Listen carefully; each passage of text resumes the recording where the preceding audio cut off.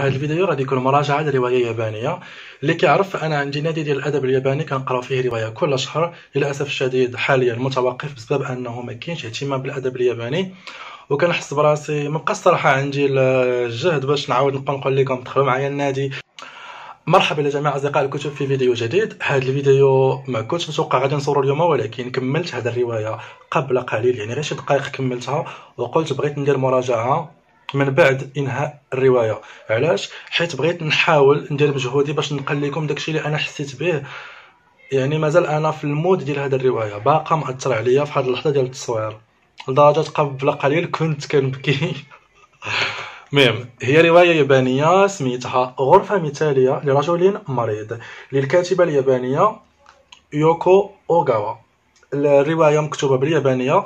نشرات عام 1988 أو 98 المترجم هو بسام حجار اللي كان السبب باش تأكدت أنني خاصني نشري الرواية لأنها أولا كانت رخيصة لقيتها واقيلا بشي 25 درهم ما عرفتش 30 ولا 40 كنظن المترجم بسام حجار هو اللي ترجم لي واحد الرواية اللي كتعجبني بزاف خيالات ضوء القمر ومطبخ اللي هي نوفيلاس روايات قصيرة.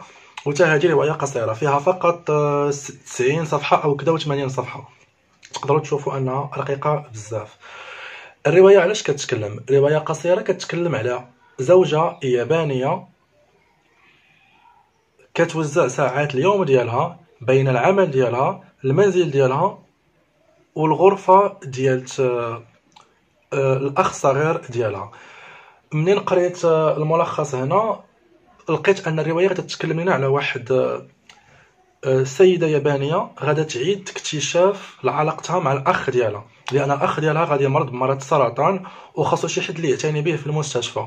هي غادا تولي كدير داك الدور أو داك الواجب أو ديك المهمة ديال الاعتناء بالأخ الصغير ديالها عنده 21 عام ومات.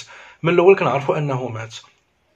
وكنعرفوا أن الأب ديالها مات الأم ديالها ماتت زوجها مات ولكن أكثر شخص أثر في أكثر موت أثر فيها هو الموت ديال خوها الصغير لأنه مات وهو عنده 21 عام ومات بمرض السرطان فمن الصفحة الأولى كنعرفوا أنه غادي يموت. يعني الرواية ماشي مشوقة. المهم فيها هو داك الحالة النفسية اللي كتحطك فيها. هذاك ل... لأنها رواية فيها و... رواية وجدانية كتعبر لك على بزاف ديال المشاعر الإنسانية. آه، رواية على المرض على الموت. على الأخوة كنشوفوا فيها كيفاش أخت كتولي كتدوز بزاف ديال الوقت مع خوها وكيفاش كتولي كتكتشفو من جديد في داك الشهور الاخيره ديالو قبل ما يموت. كيفاش كتوصفو كيفاش كت داكشي اللي كيولي كياكلو ما بقاش كيقدر ياكل ولا كياكل غير العنب لأنه اللي كيقدر يهضمو شوية ولا كياخد تعيش على داك ال... واحد واحد النوعية ديال الغذاء تيبقى تيبقاو يقطروا عليه. فهي أصلا خدامة كسكرتيرة في داك المستشفى وكتبقى دوز وقتها في داك الغرفة اللي سماتها كغرفة مثالية. علاش؟ لأنها غرفة غرفة ناصعه البياض نظيفة جدا منظمة جدا وفيها واحد النوع ديال الطاقة اللي خلاتها تحس أنها خارج الحياة. أه اللي غادي يقرأ الروايه واللي غادي يفهم هادشي اللي كنقصدو. ف ما عرفتش نقدر نقول لأن بزاف الحوايج باغي نقولهم وما بغيتش نقول كلشي باش ما نحرقش لكم الرواية. أه تقدروا تقراوها راها قصيرة بزاف. أه كاينة حتى واحد الشخصية مهمة بزاف عجباتني في الرواية هي شخصية الطبيب. الطبيب اللي غادي يشرف على الحالة ديال الأخ ديالها. الطبيب متلاتم في الكلام. وأنا أول مرة كنلقى في رواية كيوريو لينا حوار كيتلعتم فيه. مثلا تيبقى يقول بيتي كان ما ميتما. داك الحرف الميم كيتكرر المهم اللي ما كيعرفش أنا كنت كنتلعثم بزاف ودابا ما كنتلعثمش ف مصدوم من راسي أنني كنقدر نتكلم بحال هكا. أه وفرحان طبعا. أه يعني شخصية كتلعثم وكيفاش كت كتنجذب ليه وكيفاش كت أه ما كتشوفش داك التلعثم ديالو بواحد الطريقة خايبة. تسخر منه ولا تقلل منه ولا تسيء ليه ولا ولا. آه، تشفق عليه ولا بالعكس حسيت بداك التلعثم ديالو بشي حاجة في شكل آه... شي حاجة اللي اثرت فيا بزاف. حيت ما كتلقاش الناس دايرين بحال هكا. كيشوفوا ديما داك الشخص المتلعثم كيشوفوا فيه بداك بهذا الشيء اللي قلت. إما كيسخروا منه ولا كيضحكوا عليه ولا كي ولا كيبقى فيهم ولا كيشوفوه بواحد الطريقة. ففرحت أن أخيرا كنلقى شخصية متلعثمه ما كرهتش لدرجة أنني كون درتو هو البطل في الرواية. ماشي هي هاد ماشي هاد الشخصية هذه الرواية ما فيهاش شي قصة معقدة ما فيهاش شي أفكار عميقة ولا هادي. الأهم حاجة فيها دوك المشاعر الإنسانية اللي كتعبر عليها الكاتبة وأيضا اللغة ديالتها زوينة بزاف. فالرواية كتخليكم تسترخيو كتخليكم ترتاحوا كتعطيكم شي مشاعر دافئة. أه المهم أنا بكاتني أثرت فيا خصوصا أنني كنتفكر شي حوايج شخصية. كنظن هادشي علاش زادت أثرت فيا لأنها خلاتني نتفكر المسألة ديال التلعثم المسألة ديال مرض السرطان الموت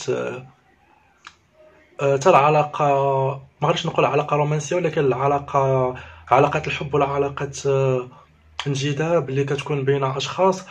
وكيفاش داك التفاصيل ديالها كت كت كت كتعبر عليا يعني كانوا كيتلاقاو في مكتبة كانوا طريقة باش كتبقى تشوف في داك الشخص أه تفاصيل بزاف. الروايه أهم حاجة فيها دوك التفاصيل الصغيرة اللي كتعبر عليها الكاتبة. يعني كتخليك تحس أن ماشي بالضرورة تقول لك الكاتبة شي حاجة اللي هي عظيمة ولا شي مواضيع اللي هي ولكن دوك التفاصيل اليومية ديال الحياة ممكن نخلقوا منها واحد الحالة نخلقوا منها واحد ال... بحال اللي كنتأملوا في داك الشيء اللي تنعيشوا فيه. غادي نقرأها أكيد مرة ثانية وثالثه خصوصا أن بس بسام حجار هو المترجم. هذا المترجم هذا كان أنا ممتن كثيرا ليه لأنه ترجم خيالات ضوء القمر ديال بانانا يوشيموتو وترجم مطبخ ديال بانانا يوشيموتو ودابا ترجم هذه ديال يوكو اوغاوا. ومترجم كنظن حتى حوض السباحة اللي خاصني نقراها ضروري لأنني من خلال واحد التعليق ديال واحد القارئة إيطالية قالت بأن حوض السباحة وغرفة مثالية لرجل مريض آه خاصكم تقراوهم بجوج باش أنكم تفهموا شي حوايج اللي ما موضحاهمش في هذه الرواية. غادي تفهموها في حوض السباحة خصوصا كيفاش الشخصية الرئيسية كتشوف الرجال لأن العلاقة الأولى ديالتها كانت مع سباح والسباح داك السباح كانت كتوصف العضلات ديالو بواحد الطريقة وكاين حتى واحد الصفحات كتهضر على هذه المسألة هذه ما غاديش نقدر نشرح لكم التفاصيل خاصكم تقراوها بنفسكم وتكتشفوها بنفسكم. غير واحد الحاجة بغيت نقول لكم الرواية خالية من أي وصف جنسي نهائيا يعني تقدروا تقراوها الناس اللي ما تعجبهمش الوصف الجنسي في الروايات. الأجنبية فراها ما كايناش كاع. يعني قراوها بالعكس. الرواية اللي جاتني أنا عاطفية روحانية وجدانية كتوصف بزاف ديال الأمور اللي نقدروا ما نلتفتوش ليها. أهم حاجة فيها هي هي هذا الأمر هذا اللي اللي قلت لكم. نتمنى يكون الفيديو يعجبكم. ما كنتش محضر نهائيا ولكن بغيت نديرو من بعد ما كملت القراءة ديال الرواية مباشرة. نتمنى تقراوها ونتمنى تشاركوا معايا آرائكم في التعليقات وأيضا في بانانا يوشيموتو تلقاو واحد الفيديو فايت تكلمت عليها. وإذا كنتو مهتمين بالأدب الياباني غتلقاو الفيديوهات اللي حطيتهم من الادب الياباني وغتلقاو حتى النادي ديال القراءة اللي داير الأدب الياباني. نتمنى تنضموا ليه وتقراو معايا الكتب اليابانية. أه كنظن قلت كل شيء بغيت نقرا واحد المقطع ولكن ما بغيتش الفيديو يكون طويل. غادي نخليه لكم نخلي لكم حسابي في الانستغرام غتلقاو فيه اقتباسات وغتلقاو فيه آه، شي حاجة اللي ما ذكرتهاش في الفيديو. دخلوا عند الإنستغرام وراه غادي تلقاو محتوى إضافي على هذا الرواية. وأيضا في ال Goodreads أتمنى لكم قراءة ممتعة وشكرا جزيلا على المشاهدة. مع السلامة. ما تنساوش تشاركوا وديروا like bye bye نسيت ما قلت لكم بأن الشخصية الرئيسية ماتت أمها بمرض عقلي خطير اللي هي الأخت ديال داك الرجل المريض.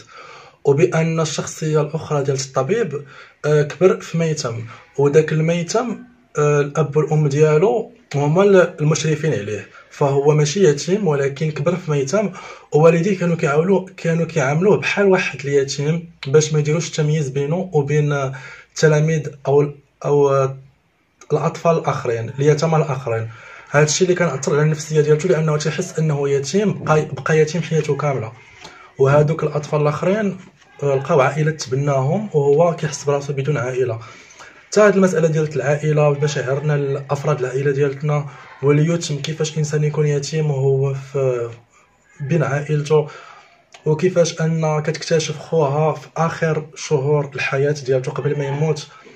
فرواية كتخليك تفكر في العائلة ديالك وفي الروابط الأسرية. أه فيها بزاف ديال التفاصيل كنشجعكم أنكم تقراوها زوينة بزاف.